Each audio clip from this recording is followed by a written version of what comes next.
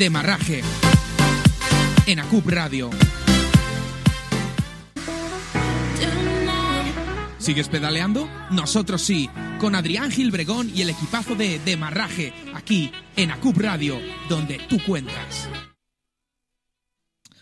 Hablamos hoy, empezamos hoy el programa hablando con eh, José Luis López Cerrón, eh, presidente de la Federación Española de, Ciclismo. Muchas cosas le tenemos que, preguntar y bueno, pues eh, lo primero y lo más importante es darle las gracias por atendernos y darle la, bienvenida. José Luis, ¿qué tal estás? ¿Cómo estás llevando estos días?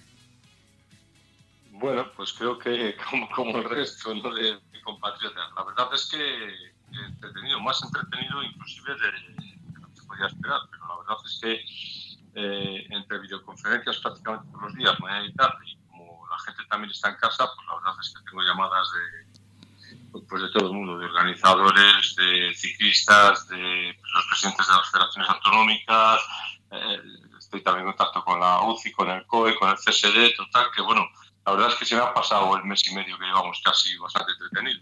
Eso, eso le iba a preguntar, digo, no, yo creo que no habrá dejado de, trabajar en estos días entre, entre llamadas, bueno, pues eh, y, y, lo que me decía usted, ¿no? Entre gestiones eh, de, estos días, porque desde las federaciones, desde los organismos, por lo menos desde fuera vemos que, estáis a tope y desde dentro seguro que, también. La primera pregunta que le tengo que hacer, el día 2 dijo el otro día el presidente del gobierno que se podría salir a hacer, realizar actividades físicas al aire libre. Eh, lógicamente, desde la federación, mm, bueno, pues mm, se, eh, tiene que acoger a lo que diga el gobierno. No sé si desde la federación sabéis o, intuís si el ciclismo estará incluido entre esas em, entre esas entre esas actividades que se puedan hacer? La comisión un poco del trabajo pasada borrador que no sé si el mismo viernes o hoy lunes se enviaba al Ministerio de, Sanidad, ¿no? Para su aprobación, digamos así, o para ver lo que ellos contestaban. Em, desde la Federación Española de Ciclismo eh, ese documento lo que va es que pensamos que los ciclistas profesionales y ciclistas de alto nivel, y vamos, ciclistas en general, que podrían entrenar, nosotros pensamos que a partir del 2 de mayo, si se va a liberalizar, eh, simplemente porque ellos están en sus casas, eh, pueden salir de casa, pueden regresar a su domicilio sin sin tener contacto con, ninguna otra persona, ¿no? Por supuesto, con, respetando las distancias y sobre todo, pues no formándose pelotones. Y eso es un poco lo que hemos transmitido. Entonces, claro, todo va a depender del Ministerio de Sanidad, pero la verdad es que nosotros creemos que el ciclismo, en este caso, es bueno, pues sería uno de los deportistas que menos eh, peligro tanto para él como para el resto de ciudadanos te podrían podría suponer. Hmm. Sí, mm, en esa misma línea le iba a comentar yo. Quizás eh, sea el deporte, pero de los que no a cruzar. Si te cruzas con otro, eh, cada uno va por su carril. Y, si adelantas a uno, a otro compañero, pues mm, tomar una. Si antes lo adelantabas a medio metro, pues adelantarle con cuidado un poquito, un poquito más de, de separación. Claro, el problema es, por ejemplo, el que, el que dicen en Andorra que es un deporte de alto riesgo. No sé si podría entender algo ahí el gobierno y, decir, bueno, pues eh, ustedes espérense un poquitillo más. No sé si... Bueno, me imagino que cuando, cuando dicen de alto riesgo se refiere a que puede haber accidentes en, hmm. las carreteras, eh, efectivamente. Pero bueno, yo creo que Estamos viendo también que efectivamente ha habido accidentes de, ciclistas y atropellos, etcétera, eh, en una situación también en la que si estamos comparando eh, la cantidad de ciclistas que salen todas las semanas en bicicleta, que son, según además eh, la mesa de la bicicleta y el, Consejo de Deportes, entre 7 y 8 millones la gente que se desplaza en bicicleta, ya sea para trabajo, ocio o, deporte, ¿no? A, lo largo de una semana, todo esto, todas estas cifras, claro, naturalmente, antes del confinamiento, y el porcentaje de accidentes era mínimo. ¿no? Yo creo que ahora mismo, una vez que, bueno, que como están diciendo, los hospitales ya se están librando, yo creo que no sería un, tema importante ni de alto riesgo, porque primero hay menos tráfico en las carreteras y segundo, yo creo que, bueno, el porcentaje de, caídas que puede tener los ciclistas, sobre todo en ruta, eh, quizá a lo mejor en descenso, en BTT, podría haber alguno más, pero en ruta, desde luego, sería mínimo. Hmm. Sí, no, y yo particularmente tengo la sensación, o por lo menos estoy concienciado, de que el primer día no voy a, no voy a subir y descender el Angliru, por ejemplo, que, es donde más peligro puedo tener. El primer día seguramente puedo dar una vuelta a X kilómetros de mi casa y, así todos, ¿no? Entonces, por eso decía que si estamos, yo creo que todos concienciados y somos todos responsables, eh, yo, yo creo que, bueno, pues es un deporte en el que en el que quizás el riesgo de contagio y el riesgo sea, sea menor, pero bueno, todo esto, como usted decía o como tú decías, eh, pertenece al gobierno. Eh, lo que sí pertenece, eh, bueno, más que a la federación es a la UCI, pero bueno, le, pregunto, a partir del próximo día 2 se puede entrenar, no sé si en junio a nivel de España se podría abrir alguna carrera, a nivel de, mm, no ya de Copa, pero sí alguna pequeña carrera a nivel de España, o la prohibición de la UCI es tajante y hasta el 1 de julio no hay ninguna carrera. No, vamos a ver, son cosas eh, diferentes porque eh, lo que la UCI determina a partir del 1 de julio es que no habrá carreras internacionales. Naturalmente eh, puede haber carreras nacionales porque la, UCI en la última reunión que hemos tenido, mm, pues bueno, se dejó que las federaciones nacionales, eh, dependiendo de, en este caso, de sus ministerios de sanidad y cómo esté la crisis en su país, pues pueden organizar o no organizar sus carreras, siempre que no sean nacionales. Igual que aquí en España, si no sé, si dentro de unos días vamos a decir si se, se pudieran celebrar competiciones en Canarias, ahora mismo que se habla de, que ya prácticamente no hay, no hay casos de virus, pues, pues se podría organizar una competición autonómica, en este caso, porque dependería de la Federación Autonómica y del Gobierno Autonómico. ¿no? Sí que es verdad que, que bueno, Ahora mismo todos los, prácticamente los organizadores lo que han hecho es cancelarlas y más que cancelar las competiciones, trasladarlas, ¿no? Un poquito lo, lo más lejos posible, julio, agosto, septiembre, inclusive octubre, como estamos viendo. Eh, todo esto pasa porque el gobierno pues deje hacer estas pruebas. ¿no? Yo creo que así como te he dicho antes, los ciclistas creo que tienen más facilidad para poder salir a entrenar, porque como te digo, tienen yo creo que menos riesgo para ellos y para las personas.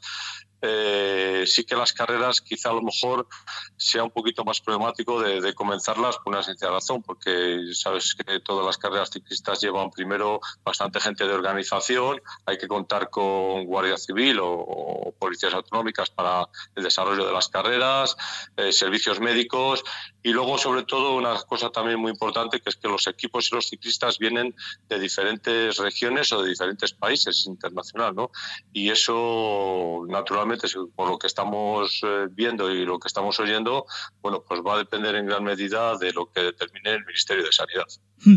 Eh, estamos asistiendo estos últimos días a, bueno, pues al caso del fútbol, desde la Liga, desde la Federación, que tienen un protocolo para la vuelta a los entrenamientos. En su caso, los entrenamientos son más problemáticos, pero bueno, también para la vuelta a partidos. ¿Manejáis eh, algún protocolo desde la Federación? No sé si, claro, lo que decías tú, al final es un posible, por ejemplo, pasar test a todos los corredores, organizadores, eh, gente de equipos. Es imposible eso en el ciclismo, ¿no? Eso en el ciclismo, date cuenta que estamos hablando de, muchas personas y de personas que vienen, como te digo, de diferentes sitios, localidades o, países. ¿no? Eso yo creo que es bastante complicado.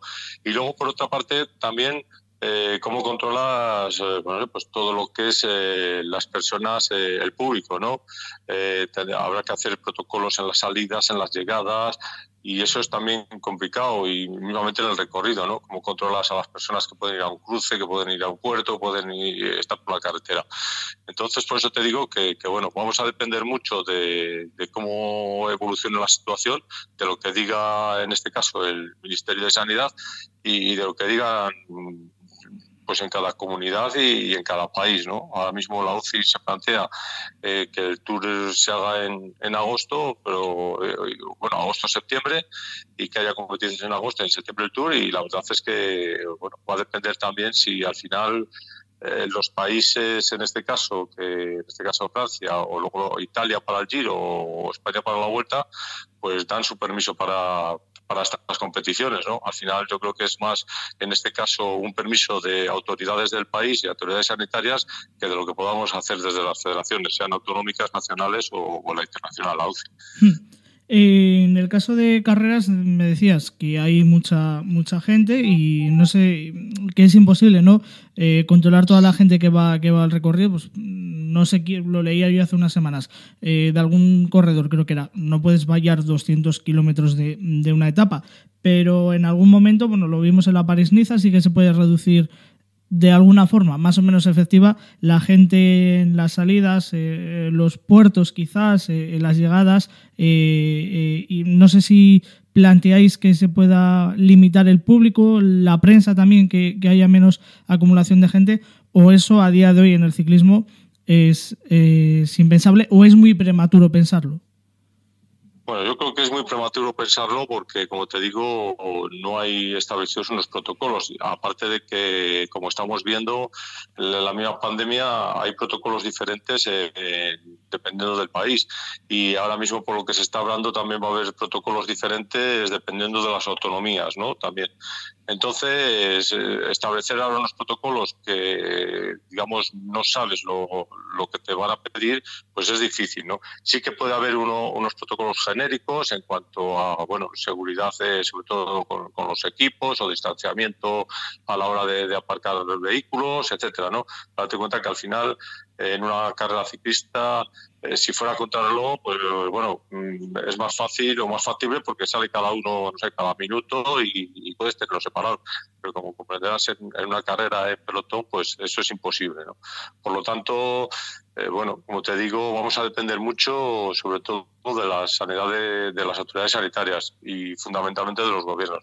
Y eso es una cosa que va a estar ahí porque al final, si hay que controlar eh, las salidas o las llegadas, el organizador puede poner los medios, pero al final tiene que ser pues eh, policía municipal o policía nacional o, guardia civil, etcétera, las que tuvieran que controlar todas esas aglomeraciones que puede haber, sobre todo a lo largo del recorrido. No es imposible que un organizador, como bien has dicho, pues, pues controle 200 kilómetros o 120 o, 60, sí, eh, aunque sea una, una carrera de, de juvenil. ¿no? Entonces, bueno, pues vamos a, a continuar ahí y ya veremos a ver.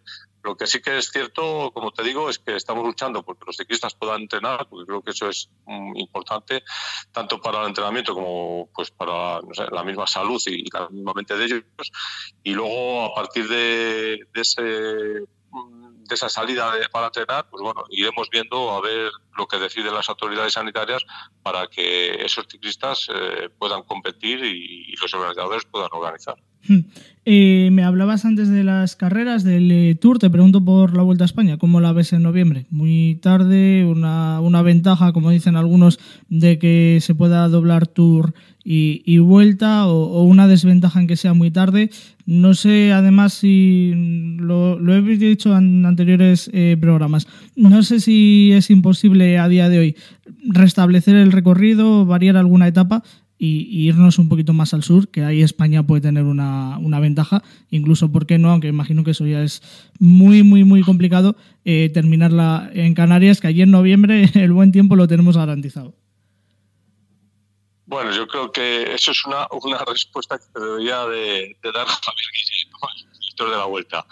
Eh, yo creo que una gran vuelta, como, es el Giro, como es la, Vuelta a España o como es el Tour, eh, cambiar unos meses antes el recorrido es muy difícil, muy complicado y más en estas circunstancias donde ya tienes eh, concertados con ayuntamientos, diputaciones, comunidades autónomas, etcétera, todo lo que es el recorrido y empezar a una negociación en, en otras partes, pues es, eso es complicado. Yo lo veo muy complicado. Y con respecto a lo que puede ser el calendario, bueno, pues yo creo que si al final se, ojalá, como te digo, se puede hacer el Tour de Francia y bueno, como se está especulando, el, el Giro iría, iría seguido, yo creo que la Vuelta a España también, aunque coincida eh, algunos días, una semana con el Giro de Italia, pues se puede también desarrollar a, mediados de octubre y si no acabar el mismo octubre, pero acabar en la primera semana de noviembre. Hmm. Yo creo que, bueno, son fechas en España que todavía eh, no son muy problemáticas en cuanto a climatología y por lo tanto yo creo que, puede ser factible, ¿no? Pero como te digo, lo principal es que las autoridades, eh, digamos, den el visto bueno. Hemos visto hoy como ya de manera definitiva se cancela la, Vuelta a Cataluña hasta 2021. Eh, Zulia, la Vuelta al País Vasco, estaba todavía en dudas. Eh, no sé si, si, la Vuelta a Madrid, por ejemplo, hace poquito también ha dicho que se cancela hasta 2021.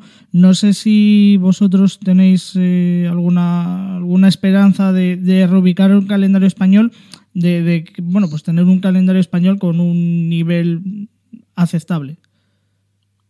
Bueno, eh, como un poco como hemos hablado antes, son dos cosas eh, diferentes en cuanto a lo que es el calendario internacional. Eh, los organizadores, como bien has dicho, están pidiendo o cancelación o, o traslados. En este caso, efectivamente, la vuelta a, Cataluña, pues tiene decidido que regresará en 2021 y sí que la Vuelta al País Vasco pues tendría pensado a lo mejor otras fechas. ¿no?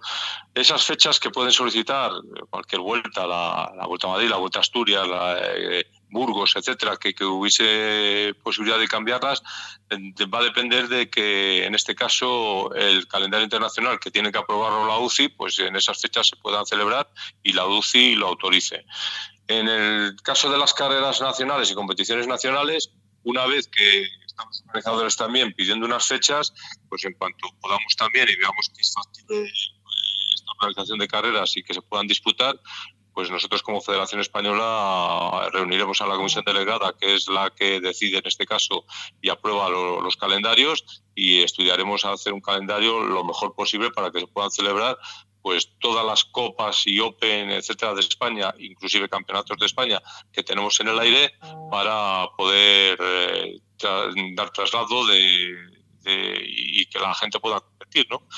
Pero bueno, como te digo, ahora mismo lo principal es uh, que den autorización para entrenar, como he dicho antes, y luego, bueno, pues a ver cuándo se puede empezar a competir. Hmm. Eh, dos últimas preguntas que te hago. En cuanto al calendario femenino, no, no se ha hablado mucho, prácticamente nada. Eh, imagino que desde la federación sí que, que estaréis trabajando en reubicar alguna, alguna carrera. El calendario femenino, como te es, es igual, cuando, hablo de calendarios hablo de, todos los calendarios, como te digo, son Copas de España, porque igual que hay la Copa España 23 está la Copa de España femeninas también, que de féminas que, que, está ahí, tienen que ser los organizadores los que vayan diciendo si van a cancelar su, su prueba o la van a reubicar en, en otra fecha, y sí que intentaremos, pues igual que masculino, que haya toda la cantidad de carreras máxima que, pueda haber también para, para, el ciclismo femenino, igual que para el BTT con el Open de España o para, cualquier otra especialidad, el BMX o, el trial. ¿no? Eh, la pista a lo mejor también va a depender mucho de que bueno las instalaciones deportivas, en este caso de ayuntamientos, ahora te hablo de velódromos, pues que se puedan abrir y que se autoricen y es un poco la, en este caso, bueno, pues la única especialidad que, digamos, se desarrolla en un, en un entorno cerrado, aunque hay velódromos abiertos, y como te digo, vamos a depender mucho de, de las autoridades en este, en este caso. Hmm. Y ya por último, para terminar, ¿teme el presidente de la Federación Española de, de Ciclismo la huella que puede dejar la crisis económica tanto en equipos como, como en carreras? Bueno, ya sabe que al final el patrocinio suele ser el eslabón más, más débil, lo vivimos con la anterior crisis. No sé si, si desde allí teméis que, que vuelva a pasarlo un poquito mal nuestro, nuestro deporte. Bueno, pues sí, sí lo tememos y es otra de las cosas. Siempre hablamos de, los calendarios, hablamos de los calendarios, de los entrenamientos, pero hay una cosa de la que también internamente en las reuniones que tenemos con yo todas las semanas prácticamente tengo una reunión con todos los presidentes de federaciones autonómicas, también con, con la Unión Ciclista Internacional, eh, al estar en su comité director, y la verdad es que hay una preocupación general, ¿no? A nivel internacional, a nivel nacional, nosotros como Federación Española y, a nivel de las federaciones autonómicas. Está claro que el ciclismo es un deporte que los equipos dependen en su mayoría de patrocinadores, de patrocinadores que en este caso, como estamos viendo, pues tienen las tiendas cerradas, sus productos eh, no se están pudiendo vender y por lo tanto ese patrocinador no va a poder asumir pues el dinero que tiene comprometido a lo mejor con, con esos equipos. ¿no? Los organizadores también organizadores, pues les pasa un poco lo mismo en este caso. Aparte de los patrocinadores, dependen mucho de ayuntamientos, diputaciones, comunidades autónomas y naturalmente esta crisis pues va a dejar un un hoyo, ¿no? digamos, económico ahí importante y por lo tanto no sabemos el dinero que se va a poder destinar no solo al ciclismo, sino al deporte en general. ¿no? Y eso preocupa también a las federaciones autonómicas por la misma situación. Eh, federaciones autonómicas nacionales y nacionales, en este caso, que dependemos de, de tasas de, carreras que nos están organizando, de ingresos de licencias, que desde luego ya no es muy difícil que, se vaya a hacer más licencias este año, y, ese dinero que no entra, aparte de las subvenciones, tanto de, en este caso nuestro del CSD como de las demás comunidades autónomas de sus direcciones generales de deportes, pues bueno, hay una inquietud y, en general, ¿no? Por el ciclismo la verdad es que el ciclismo depende mucho de estos factores, como te digo, eh, y por lo tanto problemas que puede haber en muchos equipos, problemas en muchas organizaciones y la verdad es que vemos una situación, digamos, difícil a corto plazo. José Luis López Arrón, presidente de la Federación Española de, Ciclismo, le doy las gracias por atendernos, por aclararnos un poquito más el panorama que es incierto para nosotros, para equipos, para federación, para corredores y, corredoras, para todos. Y, bueno, pues esperamos verle cortando cintas, verle las carreras dentro de poco, porque eso será una buena, una buena señal. Muchas gracias por atendernos y, lo dicho, nos vemos en, en, las carreras, que será una buena señal. Nada, gracias a vosotros y lo que hace falta es que haya carreras. Luego, aunque no esté yo allí, no pasa nada tampoco. Perfecto, hasta luego.